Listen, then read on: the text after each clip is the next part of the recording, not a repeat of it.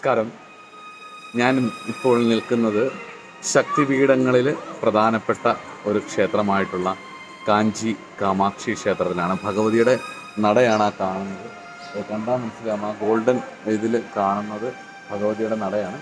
അതിനുള്ളിലാണ് കാഞ്ചി കാമാക്ഷി ദേവി ഇരിക്കുന്നത്. ഇത് മൊബൈൽ നമ്മുടെ വീഡിയോസ് അങ്ങനെ അലൗഡ് അല്ല. അതുകൊണ്ട് ഞാൻ നവരാത്രി മണ്ഡപത്തിന്റെ ഭാഗത്ത് നിന്ന് ജസ്റ്റ് ഒന്ന് എടുത്തിട്ട് പോവാം എന്ന് വിചാരിച്ചു. നിങ്ങളെയും കൂടെ കാണിക്കണമല്ലോ. അല്ലെങ്കിൽ നിങ്ങൾക്ക് കൂടെ ഒരു അറിവുണ്ടാക്കി തരിക എന്നുള്ളതാണല്ലോ നമ്മുടെ ഈ ഒരു സീരിയസിന്റെ ശ്രമം. ഞാൻ എന്തായാലും ഞാൻ ക്ഷേത്രത്തിൽ വരും തൊഴും. എന്നെപ്പോലെ ആഗ്രഹിക്കുന്നവരും അന്വേഷിക്കുന്നവരും വരും. പക്ഷേ ആഗ്രഹം ഉണ്ടായിട്ടും അറിവില്ലാത്തത് കൊണ്ട് പോകാനോ ശ്രമിക്കാനോ കഴിയാത്തവർക്ക് വേണ്ടിയിട്ടാണ് ഈ വീഡിയോ സീരീസ്. ഈ ക്ഷേത്രത്തിൽ പ്രധാന ദേവതയായിരിക്കുന്നത് സാക്ഷാൽ കമാക്ഷി ദേവിയാണ്. കമാക്ഷി ദേവി എന്ന് പറയുമ്പോൾ സാക്ഷാൽ ലളിതാ പരമേശ്വരി ലളിതാ ത്രിപുര സുന്ദരിയാണ് ഇവിടെ ശങ്കരാചാര്യർ പ്രതിഷ്ഠിച്ചെന്ന് വിശ്വസിക്കപ്പെടുന്ന ഒരു ശ്രീചക്രവും ഉണ്ട്. ഇത് സതീദേവിയുടെ ദേഹത്യാഗം അറിയാവുന്നവർക്കറിയാം. ദക്ഷയാഗത്തിൽ ദേഹത്യാഗം ചെയ്ത സതീദേവിയുടെ ശരീരമെടുത്ത് താണ്ഡവമാടിയ ശ്രീപരമേശ്വരൻ നെ ഒന്ന് ശാന്തനാക്കാൻ വേണ്ടിയിട്ട് സതീദേവിയുടെ ശരീരം ഭഗവാൻ വിഷ്ണു തന്റെ സുദർശനമാകുന്ന ചക്രം കൊണ്ട് അൻപത്തിയൊന്ന് കഷ്ണമാക്കുകയും ഈ അൻപത്തിയൊന്ന് കഷ്ണങ്ങൾ പോയി പതിച്ച സ്ഥലം ശക്തിപീഠമെന്നറിയപ്പെടുകയും ചെയ്യും ശാക്തിയർക്ക് വളരെ വിശേഷപ്പെട്ട സ്ഥലമാണ് ഈ എൺപത്തൊന്ന് സ്ഥലങ്ങൾ. അതിൽ ഭഗവതിയുടെ നേവൽ ഭാഗം അതായത് നാഭി ഭാഗം വന്ന് പതിച്ച സ്ഥലമാണ് കാമാക്ഷി. അതുകൊണ്ട് തന്നെ ഇവിടെ വളരെ വിശേഷപ്പെട്ടതാണ് ലളിതാ ഉപാസകരുടെ ഒരു പ്രധാന കേന്ദ്രമാണ് ഇവിടുത്തെ ഒരു പ്രധാന ശങ്കരാചാര്യ സ്വാമിയുമായിട്ടൊക്കെ ഈ ക്ഷേത്രത്തിന് ബന്ധം വരുന്നതുകൊണ്ട് ശങ്കരാചാര്യ സ്വാമി പ്രതിഷ്ഠിച്ച ശ്രീചക്രം ഉള്ളത് കൊണ്ട് തന്നെ അല്ലെങ്കിൽ ശങ്കരാചാര്യ സ്വാമിയായിട്ട് ബന്ധമുള്ളതുകൊണ്ട് ആ മഠവുമായിട്ട് ബന്ധമുള്ളത് തന്നെ മഠമാണ് ഇതിന്റെ പ്രധാന ട്രസ്റ്റുകളിൽ ഒരാൾ. അതുകൊണ്ട് തന്നെ ഇവിടെ ഇവിടുത്തെ ഒരു രീതികൾ കുറച്ച് മറ്റുള്ള തമിഴ്നാട്ടിൽ കാണുന്ന മറ്റ് ക്ഷേത്രങ്ങളിൽ നിന്നും കുറച്ചൊരു വ്യത്യസ്തമാണ്. അതുപോലെ തന്നെ ഈ ക്ഷേത്രത്തിൽ തൊട്ടടുത്താണ് ഏകാംബരേശ്വര ക്ഷേത്രം. ലളിതാ സഹസ്രനാമത്തിന്റെ ഉത്ഭവത്തിന് അഗസ്ത്യർക്ക് ഹൈഗ്രീവ മഹർഷിയുടെ ദർശനം ദർശനമുണ്ടാവുകയും തുടർന്ന് ലളിതാ സഹസ്രനാമം മനസ്സിലാക്കുകയും ചെയ്തത് ഇവിടുന്ന് വളരെ അടുത്തായിട്ട് സ്ഥിതി ചെയ്യുന്ന ഏകാംബരേശ്വര ക്ഷേത്രത്തിലാണ്. ഏകാംബരേശ്വര ശിവക്ഷേത്രമാണത്.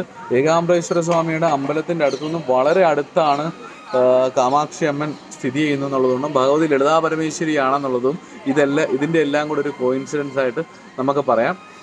ഈ ക്ഷേത്രത്തിൽ തമിഴ്നാട്ടിലെ മറ്റ് ക്ഷേത്രങ്ങളിൽ നിന്നുള്ളൊരു വ്യത്യാസമായിട്ട് എനിക്ക് തോന്നിയിട്ടുള്ളത് കുറച്ച് പുതുമയും കൂടെ കുറച്ചൊരു എന്റർടൈൻമെന്റും കൂടെ ആവത്തക്ക രീതിയിൽ കുറച്ച് സൈഡൊക്കെ ഒന്ന് ഒരുക്കി കണ്ടില്ലേ? കുളത്തിനകത്ത് പഞ്ചഗംഗ എന്ന് പറയുന്ന ഒരു വളരെ വിശേഷപ്പെട്ട കുളമാണത്. ആ കുളത്തിൽ ഒരു ഫൗണ്ടനൊക്കെ സെറ്റ് ചെയ്ത് ആൾക്കാർക്ക് കണ്ണിനും ഓക്കെ ഭക്തി മാത്രമല്ലാതെ കുറച്ചൊരു എൻജോയ്മെന്റിനും കുറച്ചൊരു റിലാക്സേഷനും കൂടെ വേണ്ടിയിട്ടുള്ള ഒരു സൗകര്യം ക്ഷേത്രത്തിന് പുറത്തും. ക്ഷേത്രത്തിനകത്ത് വളരെ വ്യത്യസ്തമായിട്ട് ഒരു തരത്തിലുള്ള നമ്മുടെ കേരളത്തിലെ ക്ഷേത്രത്തിലെ പോലെ ഒരു തരത്തിലുള്ള എന്റർടൈൻമെന്റോ അല്ലെ ക്യാമറയോ ഒന്നും പൂർണമായും സ്വിച്ച് ഓഫ് ചെയ്ത് അകത്ത് കയറി ഭഗവതിയെ പ്രാർത്ഥിച്ച് വളരെ വേഗത്തിൽ ഇറങ്ങിപ്പോകുന്ന ഒരു രീതിയാണ് ഇവിടെ കൊണ്ടുവന്നത്. ഇവിടെ ഇത്രയും ക്ഷേത്രങ്ങളിൽ വന്നതിന് ശേഷം കോവിഡിന്റെ മാനദണ്ഡങ്ങൾ ഏറ്റവും കൃത്യമായിട്ട് പാലിക്കുന്ന ക്ഷേത്രങ്ങളിലൊന്നായിട്ടാണ് എനിക്ക് ഈ കാമാക്ഷി അമ്മൻ ക്ഷേത്രം തോന്നിയത്. അപ്പം കാഞ്ചീപുരത്ത് വരുന്നവർ കാഞ്ചീപുരമാണ് കാഞ്ചീപുരം സിൽക്ക് സാരികളുടെ പട്ടിന്റെ ഒരു പ്രധാന സ്ഥലമാണ് കാഞ്ചീപുരം. കാഞ്ചീപുരം അതുപോലെ തന്നെ ക്ഷേത്രങ്ങളുടെ ഒരു പ്രധാന സ്ഥലമാണ്. വൈഷ്ണവ ശൈവ ശാക്തേയ പ്രധാനപ്പെട്ട ക്ഷേത്രങ്ങൾ സ്ഥിതി ചെയ്യുന്ന സ്ഥലമാണ് കാഞ്ചീപുരം. അതുകൊണ്ട് തന്നെ കാഞ്ചീപുരത്ത് വരുമ്പം ഈ മൂന്ന് വ്യത്യസ്തമായിട്ടുള്ള ക്ഷേത്രങ്ങളിൽ പ്രധാന ക്ഷേത്രങ്ങളിലും തൊഴുത് പോവാം നമുക്ക്. ഏകാംബരേശ്വര ക്ഷേത്രമുണ്ട് അതുപോലെ തന്നെ വിഷ്ണു ക്ഷേത്രമുണ്ട് അതുപോലെ തന്നെ ഈ കാഞ്ചി കാമാക്ഷി ക്ഷേത്രമുണ്ട്. അങ്ങനെ നിരവധി ക്ഷേത്രങ്ങൾ കാഞ്ചീപുരത്തിന്റെ ചുറ്റുവട്ടത്തുണ്ട്. അതുപോലെ തന്നെ ഇവിടെ വരുന്നവർക്ക് അതേപോലെ പട്ട് പട്ടിനോടൊക്കെ താല്പര്യമുള്ളവർക്ക് സ്ത്രീകൾക്ക് അത് വാങ്ങിക്കാനൊക്കെയുള്ള സൗകര്യവും ഉണ്ട്. അപ്പം നമുക്ക് കാഞ്ചി കാമാക്ഷി ക്ഷേത്രത്തിൽ നിന്നും ഭഗവതി ഒന്നുകൂടെ ഒന്ന് തൊഴേണ്ടവർക്ക് തൊഴാം.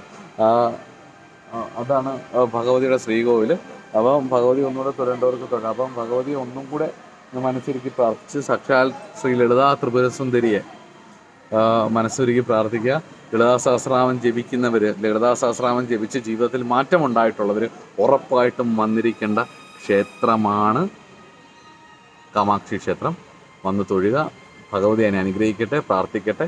നമ്മുടെ മൂകാംബിക പോലെ തന്നെ നമ്മൾ മൂകാംബികയിലേക്ക് പോകും. അതുപോലെ തന്നെ വളരെ വിശേഷപ്പെട്ട ക്ഷേത്രമാണ് കാഞ്ചി കാമാക്ഷി അമ്മൻ. ക്ഷേത്രം.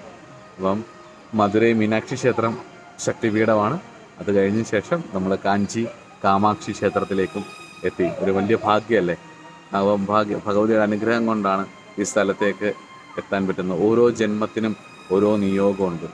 ആ നിയോഗം തിരിച്ചറിഞ്ഞ് മുന്നോട്ട് പോകണമെങ്കിൽ ഈശ്വരാനുഗ്രഹം വേണം. അങ്ങനെ പോയാൽ മാത്രമേ മനസമാധാനവും ഉണ്ടാവും നമ്മുടെ നിയോഗം എന്താണോ അതിനനുസരിച്ച് ജീവിക്കുമ്പോഴാണ് ശരിക്കും നമുക്ക് സന്തോഷവും സമാധാനവും ഉണ്ടാവുന്നത്. അപ്പോൾ അങ്ങനെ നമ്മളുടെ ഓരോരുത്തരുടെയും നിയോഗം അനുസരിച്ച് സന്തോഷവും സമാധാനത്തോടും ജീവിക്കാൻ ഈശ്വരാനുഗ്രഹം വേണം.